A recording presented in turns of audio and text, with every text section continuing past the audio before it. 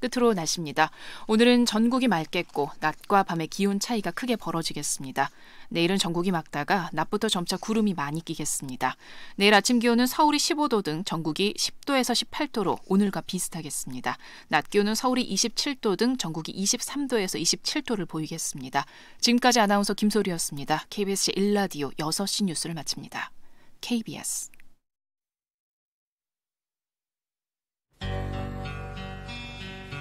지극 정성을 다하는 국민의 방송 KBS 김용민 라이브 이 프로그램은 여러분의 소중한 수신료로 만들어지고 있습니다. 네, 김용민 라이브입니다. 전 김용민이고요. 어, 전국 방송인 2부입니다. 아, 하여튼 6시 5분부터 7시까지 여러분들과 함께 달리도록 하겠습니다. 자, 여러분, 팟캐스트를 통해서 일부 들으실 수 있습니다. 일부 방송 못 들으신 분들, 팟캐스트 많이 청취해 주시고요. 유튜브는요, KBS 1라디오 계정으로만 아, 시청하실 수 있습니다. 김용민 라이브 생방송 현장. 많은 시청 바라겠습니다. 자, 들으면 들을수록 똑똑해지는 라디오 김용민 라이브. 자, 저희가 1부 마무리하면서 6시 1라디오 뉴스는 음, 어떤 뉴스가 탑 뉴스가 될 것인가 물어봤습니다. 어, 오창석 평론가 돼지 열병 24시간 방역 체제로 전환하기로 했다. 이 소식. 그리고 그 5시 때또 김현수 장관의 발표도 있었습니다. 농림축산식품부. 자, 그래서 당연히 이게 탑 뉴스가 될 것이다라고 했는데 아니었습니다. 음. 자, 김수빈 평론가 연내의 북미 정상회담. 음, 김정은 11월 방한설. 네. 그렇습니다. 아, 첫 뉴스는 김포 요양병원 화재 소식. 이것도 매우 중요한 소식이긴 합니다만은. 네. 그래요. 어, 악플이 하나 올라왔어요. 악플. 네. 하나 소개를 하겠습니다. 어, 김용민은 꼭 지보다 못한 애들 돈 만들어 주려고 어, 지금 출연을 시키고 있다. 이런 음. 악플이었습니다. 네. 어떻게 생각하십니까? 못한 애들. 음, 못한 애들. 음. 아니 솔직히 얘기하자면 네 떨어지는 애들. 네. 떨어지는 애들. 음. 이 정도면은 뭐 허위 사실 유포. 허위 사실 유포. 네. 요즘에 좀 김용민 MC께서 예. 돈이 남아 도시나 봐요. 어, 알바를 고용을 하신 것 같습니다. 예, 알겠습니다. 자, 우리 떨어지는 두 분과 함께 네. 예, 풍낙엽처럼 떨어지는 음. 두 분과 함께 또 미세 뉴스 보세 이어갈 텐데, 자, 오늘 김수미 평론가가 퀴즈 문제 내주세요. 네, 여러분들한테 선물을 드리는 퀴즈죠. 음. 오늘 열린 국회 정보위 전체 회의에서 나온 국정원 발언 내용이 주목을 네. 받고 있습니다. 국정원 측은 오늘 11월 이곳에서 열리는 한 음. 아세안 특별 정상회의에 북한 김정은 위원장이 참석할 수도 있다. 이런 어, 질문을 받았는데요. 네네. 여기에 대해서 비핵화 협상 진행이 어떻게 되는지에 따라서 부산에 음. 오지 않겠나라는 답을 국정원에 했다고 합니다. 네네. 뭐 상황을 봐야 한다는 전제를 달긴 했는데 음. 답방 가능성이 있다 라는 것으로 또 해석이 되고 있습니다. 김종대 의원은 저 일부 인터뷰했는데 네. 에이 그건 말도 안 되는 얘기다라는 식으로 얘기했어요. 네. 네. 답방 장소로 예측이 되는 이곳 음. 맞춰 주십시오. 음. 한반도 네. 남동단에 있고 음. 우리나라 광역시 중에 한 곳이죠. 네. 오창석 평론가가 바로 이곳의 아들입니다. 아, 그리고 10월 초 네. 이곳에서 예. 국제 영화제가 음. 열리기도 합니다. 그렇습니다. 자, 이곳 어디일까요? 네. 어 땡땡시라고 하셔도 되고 땡땡 땡땡시 라고 음. 하셔도 되고. 네. 자, 여러분 정답 많이 보내 주시기 바라겠습니다. 샵 9730. 짧은 문자 50원, 음, 긴 문자 100원입니다. 샵 9730. 콩은 무료입니다. 네. 어, 정답 보내주신 분들, 또 재밌는 오답 보내주시는 분들 중에 추첨해서 저희가 모바일 커피 쿠폰 보내드리도록 하겠습니다. 자, 그 사이에 또 저 문자가 좀 왔어요. 5550번 쓰시는 분. 검찰 개혁이란 핑계로 잘못을 덮을 수는 없는 거 아닙니까? 아, 철저히 수사한 후에 검찰 개혁해도 늦지 않을 것 같네요라는 말씀해 주셨고요. 자 그리고 김준수님 저는 정알못이라서 그런지 그러니까 정치를 알지 못하는 사람들을 뭐 정알못으로 부르더군요. 네. 예, 저는 정알못이라서 그런지 장관과 검찰 어, 이런 뉴스 지금 장관과 아, 검찰총장 또 이런 검찰과의 그 갈등 상황을 다룬 뉴스 음. 어, 계속 접하다 보니까 지치네요. 둘 다 살아남으면 같이 일할 수 있을까요? 뭔진 모르겠지만 참 대단한 일이 일어나는 모양이네요. 예. 아, 자, 그리고 2509번 쓰시는 분. 트럼프 미국 대통령 그렇게 머리가 나쁜 사람이 아닙니다. 처음부터 6조를 받으려고 하는 것이 아니라 어, 3조 정도를 목표로 하는데 6조 얘기하면은 네. 3조가 달성되지 않겠는가 아, 이런 아, 구상으로 지금 6조를 부르고 있는 것이다. 제 생각하고 많이 비슷하세요. 네. 네. 그게 김용민 MC의 평소 스타일이기도 하죠. 네. 조금 후배를 눌러놓기 위해서 굉장히 밟으려고 합니다, 일단. 네. 그럼 밟으려고 하다 보면 조금 예. 눌러지겠지. 예, 예, 네, 예. 그러나 밟혀지지도 않고 아. 눌러지지도 않는 예. 이런 결과를 도출하시죠. 그래도 언제든 눌릴 수 있다. 이런 네. 공포감을 갖고 있지 않습니까, 두 분은? 아무 감각이 없습니다. 아무 감각이 없어요. 네, 네. 아, 실제 눌리면 힘들겠다는 생각이 들긴 해요. 네, 그래요. 그거였습니다. 목표는 그거예요. 예. 자, 여러분 농담이었고요. 자, 바로 또 브리핑 이어가겠습니다. 누가 준비하셨어요?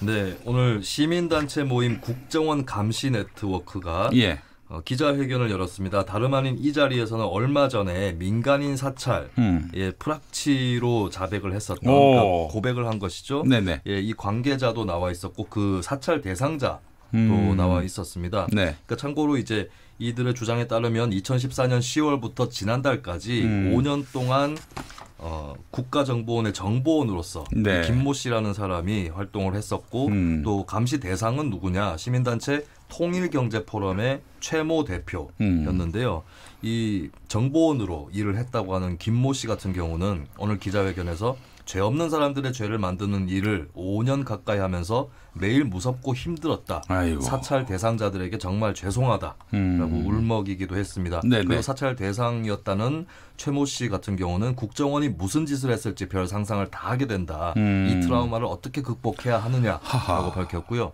예. 국정원 감시 네트워크는 오늘 입장 발표에서 이제 김 씨와 비슷한 국정원 프락치는 더 있을 것이다라고 음. 하면서 양심선언 신고센터를 운영하기로 했고요. 네. 그리고 어쨌든 이렇게 된 이상 더더욱이나 대공수사권 폐지를 음. 국정원 개혁 과제로 삼아야 한다라고 밝혔습니다. 그리고 이제 아까 전에 음. 김정은 위원장 네. 방한 가능성 거론했었던 그 예, 예. 국회의 정보위원회 국정원 브리핑에서도 이 얘기가 나왔다고 하는데요. 네, 네, 네. 국정원 측에서는 이렇게 얘기를 했다고 합니다. 국가보안법 위반 혐의가 있는 조직에 대한 내사 사건이어서 음. 법적인 문제가 없다. 또 내부에서 진상 조사를 하고 있다라고 밝혔습니다. 진상 조사가 되겠어요. 내부에서 하는 조사에 대해서 물론 음. 좀 신빙성이라든지 예. 과거에 국정원의 전력이 있기 때문에 좀 의심스러운 건 사실이고요. 이 사안을 잘 모르는 분들이 계시던데 네. 이인영 더불어민주당 원내대표도 사찰했어요. 네, 음. 그렇습니다. 현 정부에서 현 정부 국정원이 특히 고려대 동문 음. 의원들이 몇 명 사찰이 됐다고 하더라고요. 네. 네. 그러니까 이제 이게 뭐 현 정부에서도 국정원이 사찰했다 이렇게 이 포인트로 보기보다는 과거에 해서는 안 될 민간인 사찰을 했던 국정원 내의 그 어떤 기구가 아직도 해서는 안 될 짓을 하고 있다 이렇게 봐야 되는 거 아니겠습니까?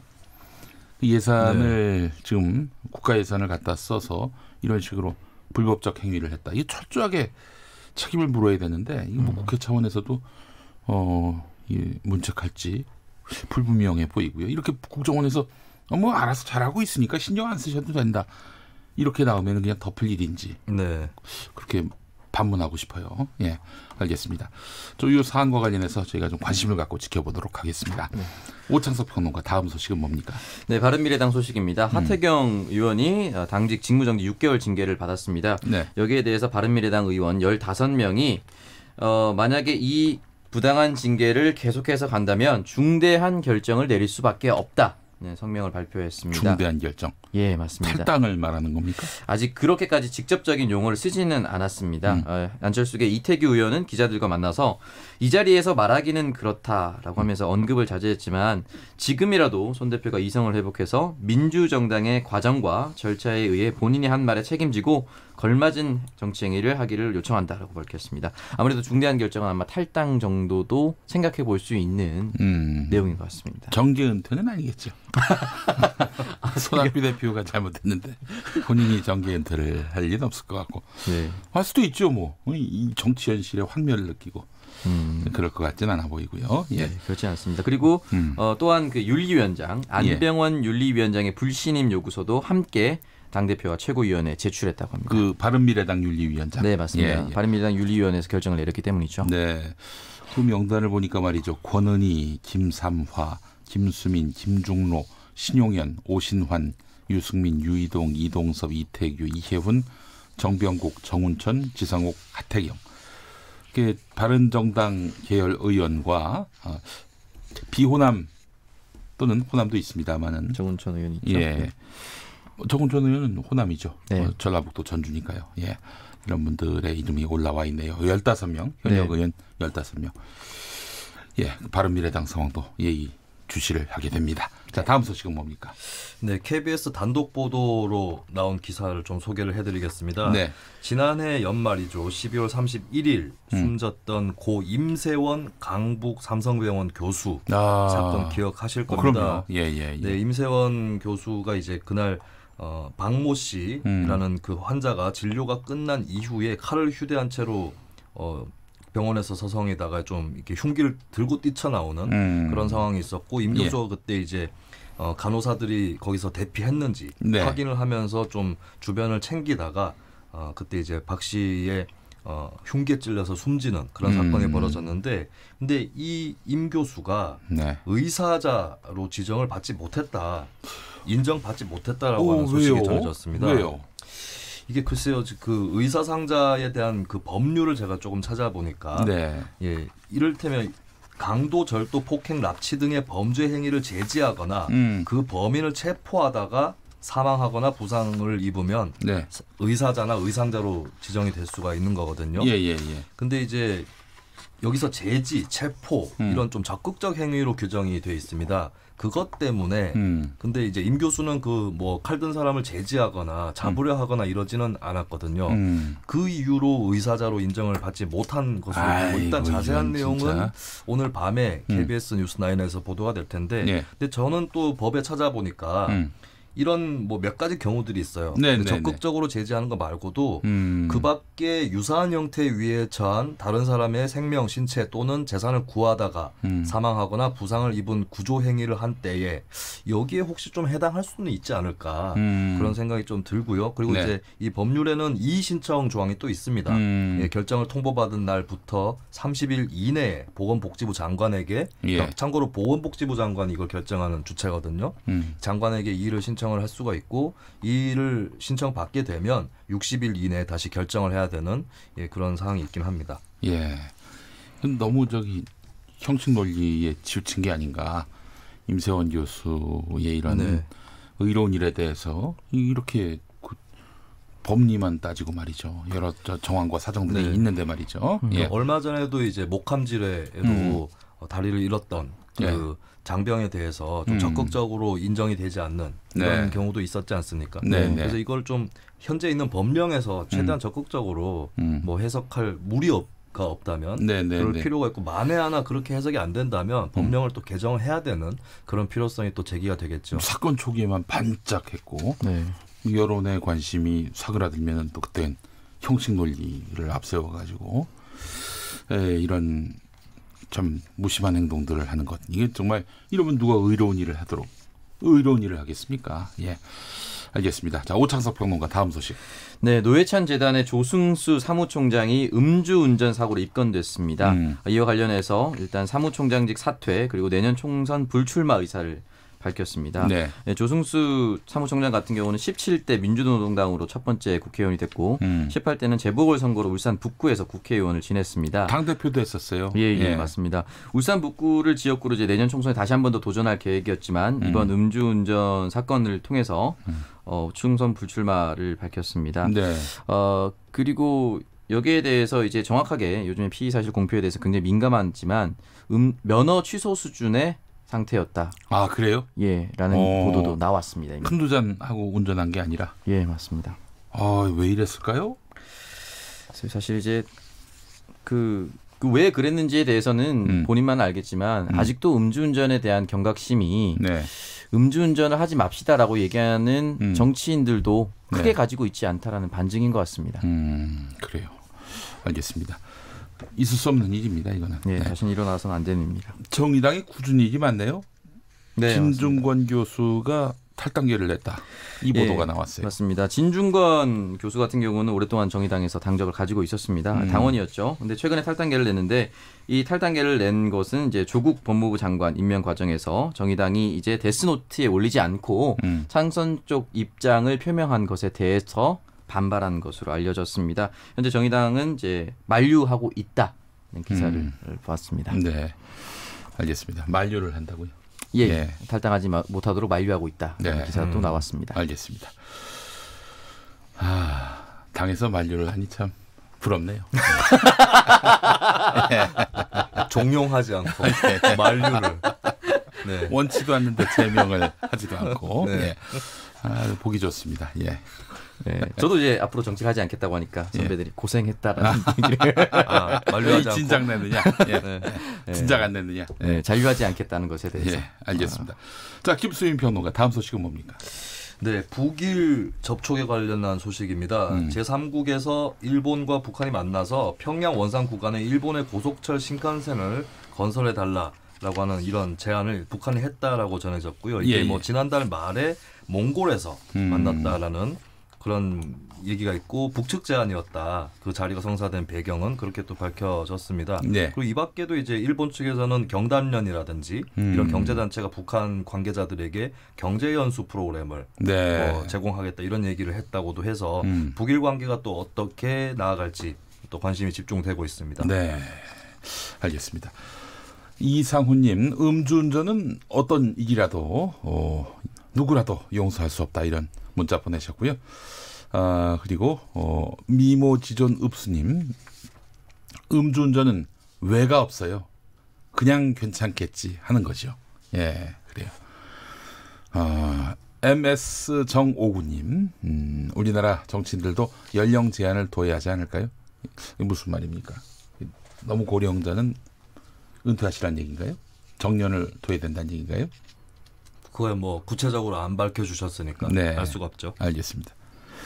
짐작할 수도 있을 텐데 짐작도 안 합니다. 아 너무 요즘 저 우리 네. 김수민 평론가가 짐작은 여러 갈래로 할수 예. 있겠습니다. 예, 예. 네. 알겠습니다. 좀 성의를 좀 보였으면 좋겠다는 그런 아쉬움을 네. 남깁니다. 짐작을 함부로 하는 것이 정성이 부족한 것이 아닌가 싶습니다. 알겠습니다. 자 다음 소식. 네, 1965년 한일 청구권 협정을 둘러싸고 어, 한국과 일본 간의 충돌 현재까지도 이어지고 있습니다. 네. 여기에 대해서 미국의 책임이 있다, 음. 미국의 음. 책임이 크다는 주장이 제기가 됐습니다. 음. 미국의 코네티컷 대학의 역사학과 알렉시스 더든 교수가 이야기를 했는데요. 네. 뉴욕 타임즈에 기고했습니다. 동아시아에서의 미국의 더러운 비밀이라는 음. 제목에서 네. 한일 갈등을 초래한 것은 미국의 책임이 가장 크다라고 음. 했고 네. 당신은 미국의 동맹의 입장에 있어서 한일 양국의 이익이 아닌 미국의 입장에서 빠르게 봉합을 하고 음. 이두 국가를 동아시아에서 미국의 우호적인 나라로 묶어두는 것 그것이 예. 가장 중요했기 때문에 네. 미국은 어, 제대로 된 협상을 하지 않았고 네. 여기에 대한 책임 역시 결국 미국에 있다라는 얘기를 했습니다. 네, 알겠습니다. 자, 김수민 평론가. 네, 서울대 노동자들이 천막 농성에 돌입을 했습니다. 음. 어, 서울대학교의 청소 경비, 기계 전기, 생활협동조합 노동자들이 그 주체인데요.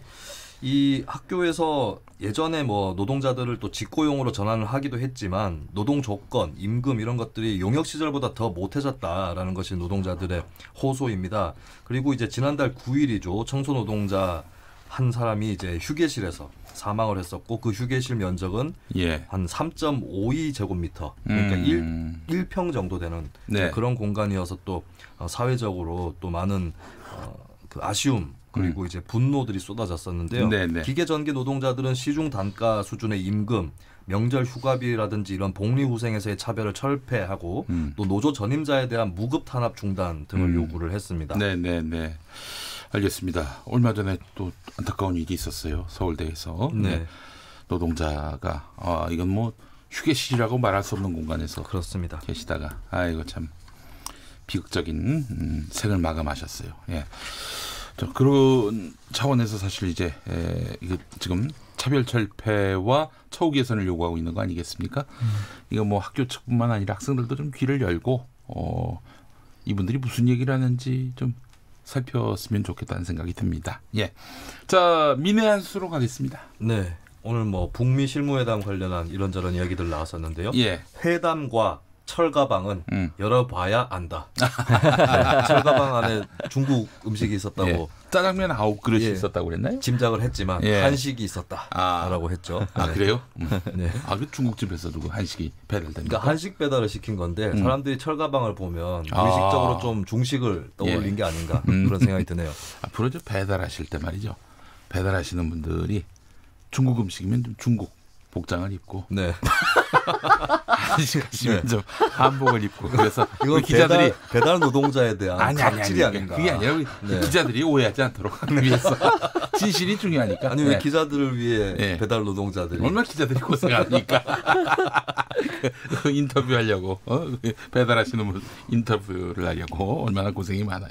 자 서기한수. 네 음주운전 관련 소식 들, 들었는데요. 네. 음주운전 한 사람과 동승자 여전히 원내에 있습니다. 음. 음주운전 관련자는 국민의 운전대를 내려놓아라. 네. 라고 남겨주습니다 알겠습니다. 음주운전 절대 안 됩니다. 오늘 저녁에 술 약속하시는 분들 에, 절대 운전하시면 안 됩니다. 자, 그래요. 어, 미세 뉴스 보세 여기까지 하겠습니다. 우리 오창석 평론가, 김수민 평론가 수고하셨습니다. 고맙습니다. 네, 라디오 정보센터 다녀오겠습니다. 오늘 정한나 씨가 준비하고 있습니다. 한미 정상회담을 놓고 여권은 한미 동맹을 재확인했다고 평가한 반면 야권은 공허한 빈손회담이었다는 엇갈린 반응을 내놨습니다. 아프리카 돼지열병이 확산하면서 오늘 정오부터 48시간 동안 전국에 걸쳐 돼지 일시 이동정지 명령이 내려졌습니다. 국가정보원이 아프리카 돼지열병으로 평안북도의 돼지가 전멸하는 등 아프리카 돼지열병이 북한 전역에 확산된 것으로 보인다고 밝혔습니다. 행정안전부는 경기도 파주시와 연천군에 이어 김포시에서도 아프리카 돼지열병이 추가로 발생함에 따라 중점관리 지역인 6개 시군에 특별교부세 32억 원을 긴급 지원한다고 밝혔습니다. 딸의 동양대 표창장을 위조한 혐의로 재판에 넘겨진 조국 법무부 장관의 배우자 정경심 교수의 변호인단이 검찰의 수사 기록 복사를 요청했지만 검찰이 이를 거부했습니다. 조국 법무부 장관 자녀들의 입시와 관련된 의혹을 수사 중인 검찰이 어제 대대적인 압수수색을 벌인 가운데 조 장관 아들이 재학 중인 연세대 대학원에서는 일부 입시 자료가 사라진 것으로 드러났습니다. 변동 중고정금리 주택담보대출을 연 1, 2%대 장기 고정금리로 바꿔주는 서민형 안심전환대출 신청액이 31조 원을 넘어섰습니다. 국제신용평가사 피치가 최근 미국의 대중국 관세 부과 조치에 정책 대응이 없으면 한국의 경제 성장률이 0.5%포인트 하락할 수 있다고 전망했습니다. 지금까지 정보센터 뉴스였습니다.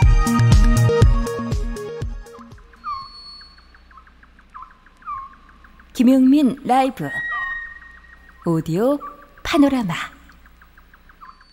법 집행은 국민의 권익 보호라는 공익적 필요에 합당한 수준으로만 이루어져야 합니다. 수사를 개시할 공익적 필요가 있는지 기본권 침해 수인 한계는 어디까지인지 어느 지점에서 수사를 멈춰야 하는지 헌법 정신에 비추어 깊이 고민해야 합니다. 법 절차에 따른 수사라 하여 국민의 자유와 권리가 무제한적으로 희생되어야 하는 것은 아닙니다. 헌법에 따른 비례와 균형을 찾아야 합니다. 7월 26일 윤석열 검찰총장 취임사 문재인 대통령 그날 윤석열 총장 취임을 축하하며 우리 청와대든 또는 뭐 정부든 또는 뭐 집권 여당이든 만에 하나 권리권 들어가 있다면 어, 그 점에 대해서는 어, 정말 이렇게 엄정한 어, 그런 자세로 어, 이렇게 임해 주시기를 바라고요. 사법농단 수사를 지켜보면서 문 대통령의 생각이 많았으리라 추정. 작년 7월 21일 양승태 전 대법원장과 박병대 전 법원행정처 처장, 김모 심의관 등에 대해 검찰이 청구한 압수수색 영장은 모두 기각됐습니다. 주거 평온을 해칠 우려가 있다는 내용도 있었던 것으로 전해졌습니다. 7월 25일 양승태 전 대법원장에 대한 압수수색 영장이 오늘 새벽 또 기각됐습니다. 법원은 소명이 부족하다고 기각 사유를 밝혔습니다. 7월 28일 사법행정권 남용 의혹과 관련해 검찰이 세 번째로 청구한 압수수색 영장이 또다시 기각됐습니다. 네 번째 도전 끝에 일단 압수수색 영장 발부 성공. 9월 30일 다만 양 전 대법원장에 대해선 주거지에 대한 영장이 기각되고 차량에 대해서만 발부됐다고 검찰은 밝혔습니다. 법원은 주거 안정의 가치가 중요하며 증거 자료가 주거지에 있을 개연성도 부족하다는 등의 이유를 든 것으로 전해졌습니다.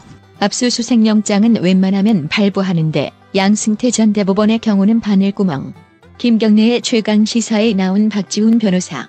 법원에서 영장은 뭐 소명만 되면 내어주는 편이니까 내어준 거라고 생각이 들긴 하지만 제가 변호사 업무를 하면서 영장을 기각시켜 본 적이 별로 없어요. 근데 거기서는 그렇게 50% 이상 기각이 됐던 뭐. 더큰 문제는 법원이 압수수색 영장을 기각하는 사이 버젓이 증거인멸이 이루어졌다는 점. 유해용 전 대법원 수석재판연구관의 YTN 보도. 검찰의 대법원 기밀 자료를 보존하겠다는 확약서까지 써놓고 법적 의무가 아니라는 이유로 약속을 뒤집고 법원에서도 어, 범죄가 성립하지 않는다고 판단을 하셨기 때문에 예, 문제가 없을 것으로 생각하고 폐기를 하게 되었습니다. 검찰 수사가 시작되자 차명폰을 만들거나 기존 휴대전화를 파기하는 등 법관 출신이라고 믿기 힘든 풍경들이 연출됐습니다. 그리고 9월 23일 이번엔 11시간 동안 조국 법무부 장관 자택에 대한 압수수색. YTN에 출연한 강희영 민주당 대변인. 11시간 동안 어, 뭘 찾으려고 했느냐라고 했을 때 표창장 원본을 찾으려고 했다라는 게 헤드로 뽑혀가지고 이제 네. 기자들이 이제 붙어서 네. 물어보니까 아, 중년의 여성과 아, 젊은 여성이 있었다. 그러니까 이제 아마 아, 부인과, 그, 딸. 부인과 딸이었을 것 같은데요. 이런 것은 사실상 이 강제 수사를 엄격하게 규정하고 있는 우리나라 형사소송법이나 과정에서 보면 개인의 주거권, 그다음에 기본권을 좀 중대하게 좀 침해하고 있는 부분이 분명히 있다. 주변부에 대한 압수수색만 수십 차례. 조국 법무부 장관 퇴근길에 한마디 토로하기를 강제 수사를 경험한 국민들의 심정을 절실하게 느끼고 있습니다.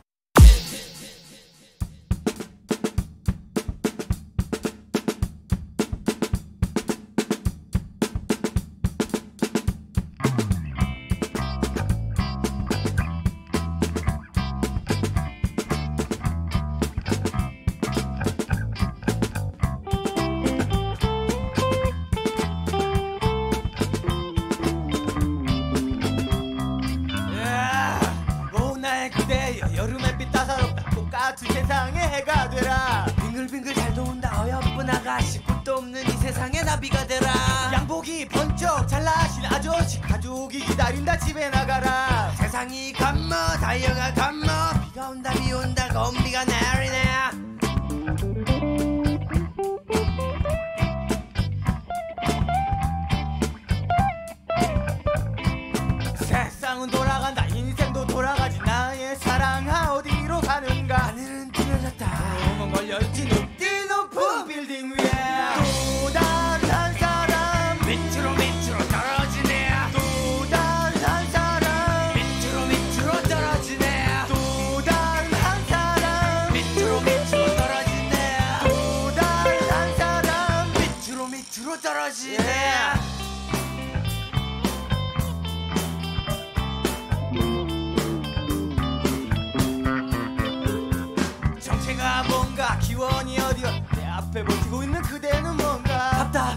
다 대머리 아저씨 어두운 세상에 빛이나 되라. 세상은 밀려가고 옆골목으로 뺏겨가고 내가 언제 간절히 원했던다 원하지 않는다 나의 인생은. 지하실 술집으로 나 빠져가네. 무엇은 태양 가리며 건물이 한 사람 서 있네. 무엇이 서러운가 더러운가.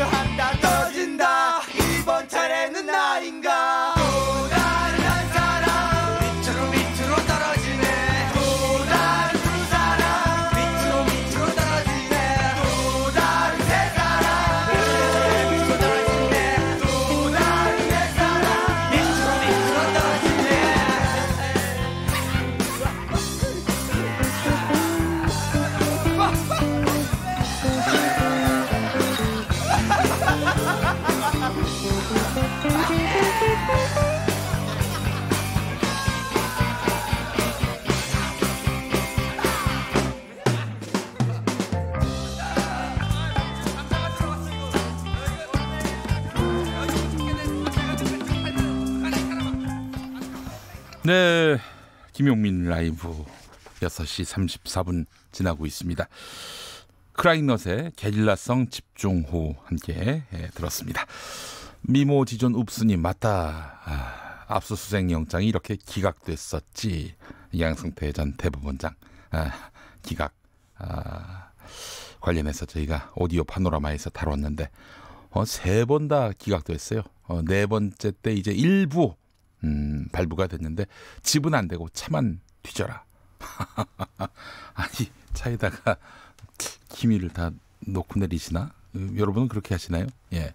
이해가 안 되는 당시 압수수색 영장 발부였습니다. K74208973 이 계정 쓰시는 분 공익을 위한 국민을 위한 우리나라 정의를 위한 윤석열 총장의 수사 응원합니다. 이런 말씀 어, 하셨고요. 김영주님 우리는 법무부 장관을 예수님 부처님을 세우려고 하는 게 아닙니다. 어, 검사님들 예, 박봉의 공무원 월급 받으면서 왜 그렇게 재산이 많이 증가하십니까? 검찰 개혁해야 합니다.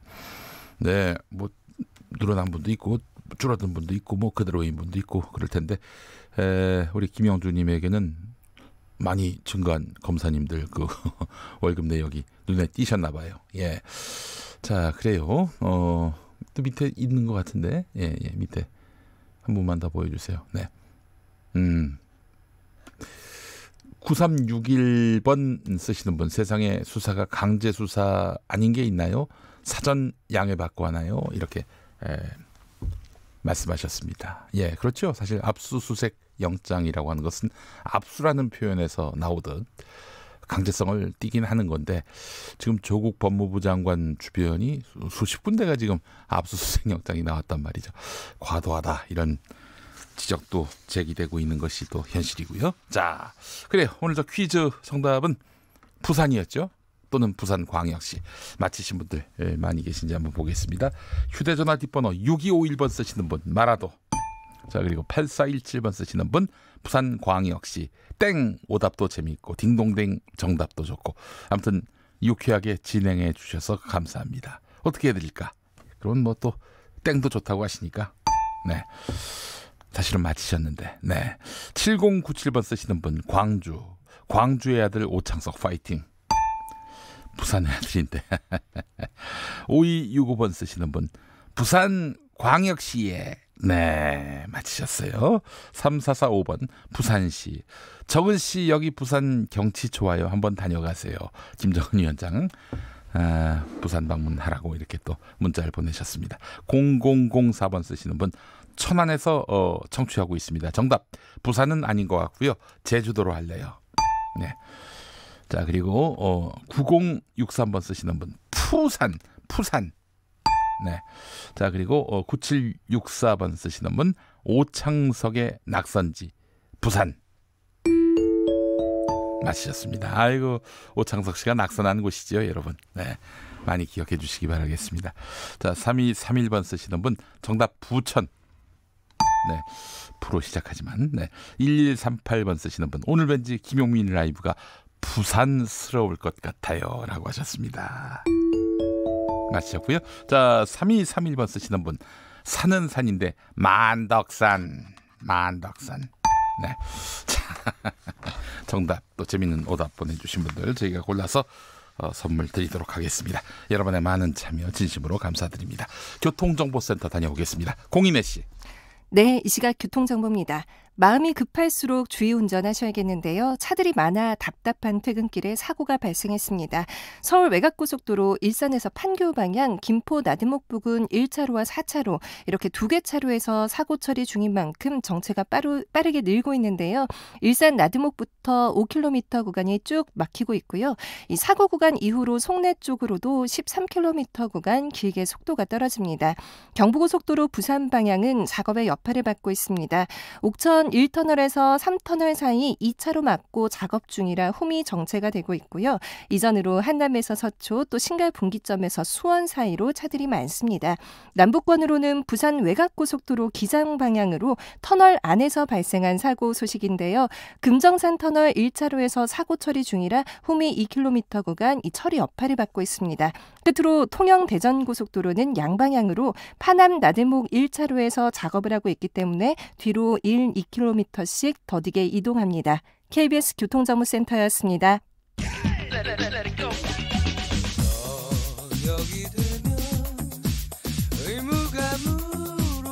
김용민 라이브를 듣고 계시죠?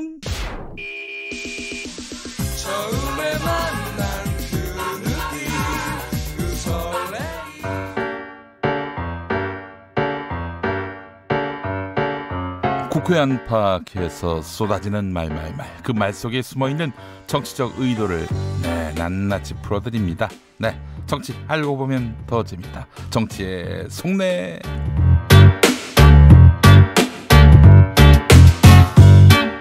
자, 정치 해설사 정치연구소 싱크와이 김성회 소장 함께합니다. 어서 오십시오. 네, 안녕하세요. 김성회입니다. 네, 정치인들의 말, 말 속에 숨어 있는 뜻이 정말 많다는 걸 이 코너 진행하면서 더 깊게 알게 되는데요. 네네. 자, 오늘 어떤 정치인들 말을 분석해 볼지.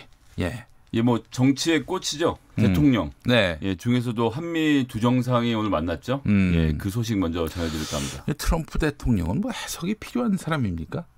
너무 투명해서. 아, 그분은 뭐 본인의 욕망을 아주 해맑게 다 밝히는 분이기 때문에 거기서 또 해석을 한다는 것 자체가 좀 무리가 아닐까 싶은데. 예, 드러내지만 다 드러내는 것도 아니니까요. 음, 예. 근데. 말씀하신 대로 워낙 음. 투명하게 하는 측면이 있죠. 예. 그, 그것이 또 사람들에게 웃음을 주기도 하고요. 예. 그렇습니다. 근데 그 우리 저 김성애 소장님은 또 미국에서 오랫동안 또 활동을 하셨고 네. 그 트럼프 대통령을 뽑은 미국 국민 물론 이제 전체 득표율로 보자면은 힐러리가 이겼습니다만은 네. 트럼프 대통령이 이렇게 당선되게 된 이유는 뭐라고 보세요? 좀 지나서 한번 돌이켜 보면 가장 큰 이유는 어, 지금으로 치면 우리나라 이제 마- 요즘 많이 벌어지고 있는 논란이 20대 80의 사회라는 얘기를 많이 하거든요. 20대 80의 예, 그래서 사회. 예. 상위 20%와 나머지 80%의 이야기를 하고 미국 같은 경우 이제 월마트 일가가 가지고 있는 음. 재산을 다 합치면 네. 예, 미국 하위 50%가 소유하고 있는 재산하고 똑같다고 이런 아, 그래요? 통계가 나올 정도로 예, 부자들은 또 되게 부자고 가난한 사람들은 가난한데 예. 지금까지 미국에서는 이제 특히 그렇습니다. 음. 지식인들을 위주로 그다음에 이제 민주당조차도 지식인들 위주로 판이 짜지다 보니까 네. 전문가들이 우대를 받아서 음. 예, 그래서 이 노동자나 또 이 형편이 어려운 사람들의 입장을 고려하지 않는 네. 정치를 좀 간 측면이 있죠. 네. 그래서 이제 그런 포인트를 트럼프 대통령이 잘 노렸다고 봅니다. 음. 그래서 특히나 이 지금 말씀하신 대로 캘리포니아나 뉴욕은 표를 많이 받아도 음. 뭐 어차피 한 표를 이기나 10만 표를 이기나 100만 표를 이기나 미국은 주별로 표를 카운트하기 때문에 소용이 없거든요. 네, 네, 네. 그래서 그런 것이 접점에 붙는 Midwest라고 불리는 오하이오를 포함해서 음. 예, 내륙 지방에 있는 노동자들의 심금을 울린 것. 그래서 아. 노동자들 보기엔 아 저 사람 시원하네. 예를 음. 들면 이주 노동자를 다 막아야 된다. 네. 그러면서 멕시코에 담을 치겠다. 아. 지금 그런 말은 사실 정치인들은 PC라고 하죠. 음. 예, 예, 정치적 올바름 때문에 해서는 안 될 말로 모두가 금기를 삼고 있었는데 네. 이걸 과감하게 하는 모습에서 사람들이 음. 대놓고는 지지 못하지만 속으로는 야 저 사람 말 시원하게 한다라는 이야기가 나왔던 것 같습니다. 아, 그래요. 우리나라에서도 어, 트럼프 같은 모델이 나올 수 있다고 보세요? 저는 지금 뭐 조국 장관 으로 불거진 문제도 그렇고 최근에 음. 벌어지고 있는 여러 가지 세대 계층 간의 논쟁들 네. 이런 것들이 다 맞닿아 있다고 생각하고요. 네. 그런 파퓰리스트들이 나올 수 있는 계기는 충분히 준비가 되었다라고 음. 보고 그것들의 맹화적인 형태가 태극기 부대를 시작으로 해서 음. 예, 우익에서 나타나고 있죠. 네, 알겠습니다. 트럼프 얘기가 나온 김에 네네. 여쭤본 겁니다. 자, 어, 트럼프 대통령 또 문재인 대통령 발언 한번 좀 소개해 주시죠. 예, 뭐 발언에서 제일 요번에 제일 중요한 것은 트럼프 대통령은 말을 엄청 많이 했고 음. 문재인 대통령은 말을 안 했다, 못 했다. 이게 좀 음. 포인트인 것 같습니다. 네. 17가지 질문이 이어졌는데 네. 그 질문을 전부 다 트럼프 대통령이 답변을 했고 오. 미사일 같은 경우에는 미사일 문제 북이 미사일을 실험을 하고 이 쏘는 문제에 대해서 어떻게 생각하느냐라고 문재인 대통령을 찝어서 얘기했는데 음. 예, 트럼프 대통령이 김정은 위원장하고 다 얘기된 부분이다. 그러니까 음. 미사일은 뭐 어느 나라는 다 실험하려고 쏘는 거 아니냐. 별 문제 없다. 네. 라고 말을 잘랐죠. 네. 예, 이러 여기서 보일 수 있듯이 음. 문재인 대통령은 철저하게 조력자의 역할, 음. 본인의 포지션을 그렇게 잡는 거죠. 네. 그 오늘 심지어 그 파키스탄하고 회담할 때인가요? 음. 노벨 평화상은 자기가 받아야 된다는 얘기를 트럼프 대통령이 직접 또 하기도 했는데요. 아 해맑은 분이에요. 예. 트럼프 대통령 정말 그렇게 해맑은 분을 제가 태어나서 본 적이 없는 것 제가 같아요. 항상 하는 얘기지만 대- 노벨 평화상 가져가시고 음. 한반도엔 평화만 주시면 된다. 그렇지 뭐. 라는 얘기를 예, 저희들이 많이 하는데요. 그걸 정말 바라는 거고 지금 노벨 평화상 받으려면 사실은 음. 한반도 문제, 남북 간의 문제를 해결하는 것 외엔 다른 방법이 없거든요. 음. 예, 그렇기 때문에 트럼프 대통령이 여기다 공을 들이고 있다. 하지만 예. 오늘 또 발언에서 주목해 봐야 할 것은 FTA 얘기를 했어요. 잘 음. 되고 있고 지난 6개월 동안 서로 교역량이 늘어났다. 음. 그러면서 한국이 무기를 많이 사주고 있어 너무 좋다. 음. 라는 얘기를 또 했습니다. 네. 여기서 볼 수 있듯이 한반도의 평화를 가져오는 것은 가져오는 것이고 예, 그것에 대해서 적절한 예. 대가를 지불해라라는 이야기까지 그래요. 음. 포함해서 가는 것이 정말 장사가운다운 면모를 보이는 네. 거고요. 뭐 돈도 벌고 상도 받고 뭐 일석이조네요. 그래서 미국의 좋아하는 팬들이 많은 거죠. 이게 사실은 우리가 정치를 하는 사람들은 우리나라 이제 겸양의 미덕이라고 하죠. 음. 네, 좀 네, 네. 짐짓 아닌 척하고 네. 좋아도 안 좋은 척하고 이제 이게 미덕이라고 생각했는데 음. 이제 정말 이런 그 청순한 스타일의 청순하다. 이제 뇌순하다고 하죠. 예. 뇌가 순수하다는 말을 예, 하는데. 예, 거의 하고 싶은 말을 다 하면서 예. 예, 정치를 하는 정치인들의 등장이 또 예, 있는 상황이 오지 않을까 실제로 싶습니다. 이렇게 그 욕망이 순수한 분, 순수하다는 표현이 적절할지 모르겠지만 욕망이 투명한 분, 네네. 이런 분을 참 우리 한국 사회에서 보기가 쉽진 않아요. 그래서 예. 사실 진행자 중에는 김구라 씨가 좀 그런 욕망의 솔직한 표현을 많이 보여주시는 스타일인데 네. 정치계에도 저는 등장이 멀지 않은 것 같습니다. 음, 좀 그래요. 사실 어느 점에서 좀 그런 가식을 깨고 하는 정치인들이 있는 것도 음. 재미있을 거라는 생각이 듭니다. 네, 알겠습니다. K7539-6237 계정 쓰시는 분 트럼프는 할 말 다 하고 살아서 오래오래 장수하겠군. 자기한테 유리한 말, 돈 되는 말은 특히 네, 맞습니다. 말씀하셨습니다. 자, 정치의 속내 다음 인물 누굽니까? 예, 시아버지 찬스. 음. 아. 라는 말 들어보셨습니까? 예. 곽상도 의원에 대해서 얘기를 또 해봐야 될 것 같습니다. 네, 그래요. 시아버지 찬스. 이 누구 시아버지를 말하는 겁니까? 그 문재인 대통령의 아들의 음.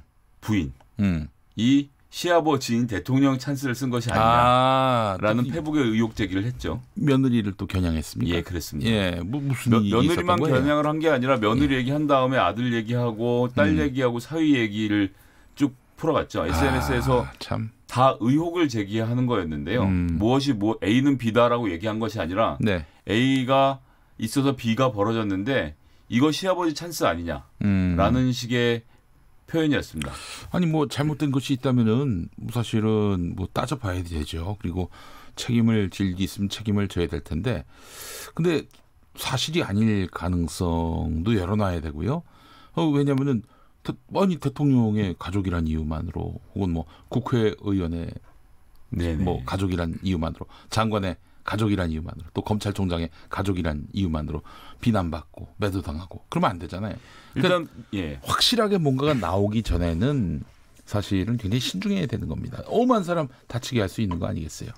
그렇습니다. 사람, 그런데 이제 이게. 네.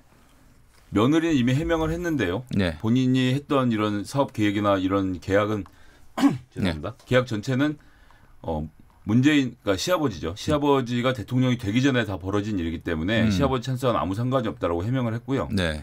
문재용 씨 경우도 마찬가지로 음. 전에 했던 것이고 이제 코딩 프로그램 활성화 계획 자체는 네. 사실은 박근혜 대통령의 작품이었죠. 음. 아, 그 지난 정부 시절에 뭐 벌이려던 사업이 있었던 모양인데.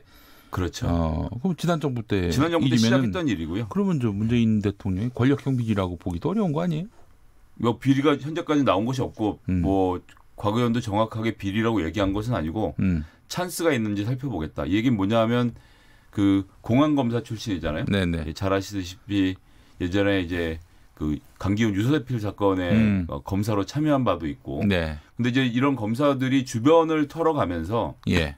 본건에 대한 자백을 받아내기 위해서 음. 다른 것들을 건드리거나 공격하는 음. 그런 방법들이 많이 있었죠. 네, 네. 지금 이제 문재인 대통령과 조국 장관을 흔드는 방법으로 음. 그 가족들을 건드리고 있는 음. 상황인 거죠. 그런데 네. 제가 이제 좀 나눠봐야 되는 게 전반기에 문화체육관광위원회 곽성도 의원이 위원으로 활동하는 것을 제가 이제 국회 보좌관으로 있으면서 지켜봤는데 네네.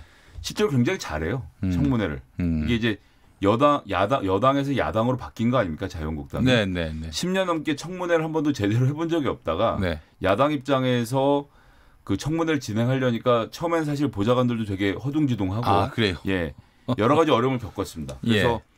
처음에 청문회를 했던 그 후보자들은 좀 쉽게 쉽게 넘어가는 측면이 있었는데 음. 그때도 보면 곽상도 의원이 검사 출신답게 굉장히 날카로운 질문을 많이 하더라고요. 네. 그런데 이제 그 날카로운 질문을 하는 것까지는 좋았는데 음. 상관없는 가족들을 다 걸고 들어가서 이게 피곤하거든요. 사실 누구의 자식이란 이유, 누구의 며느리란 이유로 이런 관심을 받게 되고 음. 또 곽상도 의원이 이렇게 지목을 하면 언론이 취재를 나설 테고 네. 그럼 직장에 찾아가고 사람들을 만나게 되면 이, 이 자체가 굉장한 스트레스잖아요. 네. 이것을 통해서 실수를 끌어내려고 하는 것이 예전에 수사기법에서 나온 예, 음. 방법인 것 같은데요. 네. 처음에 그 청문회 할 때 날카로움을 보여주셨던 곽상도 의원의 모습으로 좀 음. 돌아가셨으면 하는 바람입니다. 알겠습니다. 가족 함부로 언급하는 거 아닌데 너무 이분, 이분은 쉽게 얘기하는 것 같아가지고. 그 SNS에서 특히나 또 문주정 씨 관련돼서 뉴욕 체류하던 기간을 문제 제기를 하면서 네. 손혜원 의원이 당시에 크로스포인트라는 회사를 미국에서도 운영을 했었거든요. 네 네. 크로스포인트 NY를 운영했었는데 네. 그 집에서 묵은 게 아니냐. 그래요? 라는 문제 제기를 했는데 같은 시기에 뉴욕에 있었다 이런 거라서 예. 거의 이런 문제 제기 수준은 나경원 대표하고 손혜원 의원이 예. 같은 시기에 서울에 살았기 때문에 네. 혹시 나경원 대표가 손혜원 의원 집에 산 게 아니냐는 의혹 제기하고 좀 비슷한 수준으로 예, 예, 예. 그 얘- 얘기했던 건물은 회사로 썼던 곳이거든요. 음. 예, 그래서 예. 문준용 씨는 들어올 틈이 전혀 없었다는 것. 그래서 예. 이런 건 조금만 확인해 보시면 되는데 음. 예. 그것 자체가 그냥 바람을 불러일으키려는 전략이 아니었나 싶은데요. 예. 무리한 발언은 검증을 한 후에 사람들이 좀 신뢰를 잃게 되는 것도 같이 고려를 해야겠죠. 되게 이런 발언은 국회에서 하더만요. 그렇죠. 국회에서 하면은 면책 특권이 있잖아요. 그래서 SNS에는 생각된다라고만 적고요. 어. 예, 국회에서 하는 발언은 몸 하다라고 좀 좀 더 구체적으로 얘기를 하고 나중에 아 내가 잘못 알았다라고 어, 사과를 하면 또 그렇게 넘어가게 되는데 이런 것들이 자꾸 쌓이면 불안해집니다. 사실 2018년 12월에 있었던 자유한국당 비상대책위원회에서 네. 당협위원장 탈락 후보 선정할 때 네. 곽상도 의원이 그때 그 지역 위원장에서 배제된 바가 있거든요. 어 그래요. 예, 근데 이제 그때 비대위는 지금 활동을 그렇게 하고 나서 뭐 유야무야 넘어가서 음. 그렇지만 지금 이제 공천을 앞두고 있는 이 선거 국면에서 곽상도 의원은 좀 그 눈에 띄는 활약을 계속 함으로써 음. 지지층들의 결집을 호소하고 본인의 자리를 지키려는 또 이런 어, 포착이 포석이 있는 것이 아닌가 싶습니다. 네. 알겠습니다. 자 다음 인물 만나보죠. 예, 마지막 인물은 정의당. 음. 예, 데스노트로 계속 주가를 상승하고 있었는데 정의당. 예. 예. 근데 심상정 대표가 이번에 송구하다라고 예, 이야기를 했죠. 음. 이 얘기도 좀 한번 살펴봐야 될 것 같습니다. 그, 그 조국 장관을 예, 대통령의 인사권을 어, 그 존중하는 차원에서 네네. 어, 받아들이겠다. 조국 네네. 장관 임명을 그렇게 얘기한 것에 대한 사과입니까? 그렇게 하- 했는데 지지층들이 흔들리는 모습에 음. 여러 가지 그 속내가 있는 것 같습니다. 예. 그래서 송구하다 자기들이 더 검증해 보겠다고 하고 이것이 이제 언론을 통해서 증폭되기로는 조국 지지에 대한 철회가 이어지지 않겠나라는 것까지 좀 이제 증폭을 시키고 있는데요. 네. 사실은 정의당이 이전 선거까지는 그 민주당과 정의당이 야당이던 시절에는 음. 소위 말하는 야권 연대를 음. 통해서 되는 후보를 밀어주는 방식으로 했었죠. 네. 노회찬 의원의 경우도 창원에서 음. 예, 당선이 충분히 가능한 우리 당 후보가 있었음에도 불구하고 음. 예, 그 양보를 해서 노회찬 의원이 단일 후보로 출마를 했기 때문에 당선이 됐던 것이고요. 음.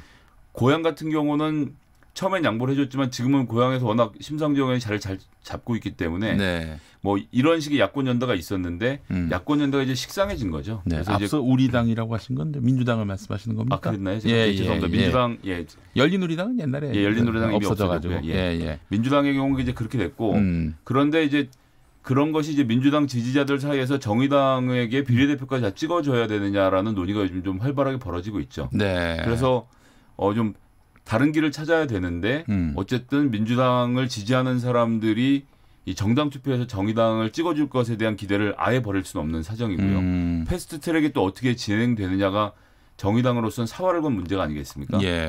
지금 현재 정당 지지율 정도라면 네. 어, 원내 교섭단체 구성도 좀 꿈꿔볼 수 있는 수준이거든요. 예, 만약 예, 패스트 예. 트랙에 통과되고 이제 모든 것이 네. 순서대로만 진행이 된다면. 음. 그래서 민주당 눈치를 봐서 이런 발언이 나오는데 네. 사실 이제 민주노동당 시절에 자력으로 열석이 넘었을 때도 보면 음. 그때는 뭐 부유세 도입이라든지 네, 네. 무상급식도 사실은 민주노동당의 아이디어였고요. 그렇습니다. 이런 식으로 좀 과감한 정책으로 승부를 보아야 음. 할 때가 아닌가. 네. 그런 생각이 듭니다. 알겠습니다. 근데 사실은 이게 어떤 뭐 여러 가지 어, 민주당 지지자들을 네. 고려해서 결정한 것인지 아니면은 지금 뭐 검찰도 수사에 나섰고 이런저런 구도로 봤을 때는 조국 장관을 내치는 것이 바람직한가라는 당내 고민들도 있었던 것 같아요. 많이 있죠. 예. 네. 그런데다가 이제 오늘 또 진중권 교수의 탈당설까지 나오면서 여러 음. 가지 좀 복잡한 속내가 전진되는 것 같습니다. 그 진중권 교수 탈당 부분은 어떻게 보셨어요? 진중권 교수는 뭐 이제 기존에 있는 386들과의 선을 그으려는 거죠. 나는 음. 그런 사람들이 아니다라고 하는 거고 그 진보당이 좀 더 진보적인 색깔을 내야 한다는 주장을 하는 것으로 보이는데요. 탈당이 정확히 확인된 상태는 아니라서 음. 좀더 지켜봐야 될 것 같습니다. 아니 근데 저는 좀 이해가 안 됐는데 정의당에서 조국 장관을 임명한 것도 아니고 뭐 네. 그 어떤 사안별로 또 법사위원 중에 정의당 의원이 있는 것도 아니고 또 국회 어떤 의결 과정에서의 어, 정의당의 그 어떤 의견이 반영이 돼가지고 조국 장관이 된 것도 아닌데 네네. 그 당에서 그런 입장 정리한 거 가지고 아 마음에 안 든다 이러면서 탈당하는 것은 그건 그 당인으로서 적절한 것인가? 무슨 뭐 이게 무슨 뭐 무슨 쉽게 커뮤니티 가입하고 탈, 퇴하고그 차원의 것은 아닐 텐데. 요즘 요 계층 논의, 86 세대에 대한 논의들이 자꾸 벌어지는데 자기는 음. 그런 사람이 아니고 고고하다라는 이미지를 좀 심어주려고 한 것이 아니었나 싶습니다. 진중권 네. 교수의 의중까지 오늘 짚어봤습니다. 자, 김성회 소장님 수고하셨습니다. 네, 감사합니다. 자, 김용민 라이브 마칠 시간입니다. 내일은 제가 개인적인 사정으로 인해서 하루 좀 쉽니다. 예. 저 대신에 주진우 기자가 김용민 라이브를 하루 맡아주기로 했습니다. 자, 주진우 기자 많이 응원해 주시고요. 내일 실시간 댓글 많이 달아주시기 바라겠습니다. 내일 주진우 기자와 함께하는 김용민 라이브 5시 5분 주파수 고정 부탁드립니다. 저는 김용민이었습니다. 모레 뵙겠습니다.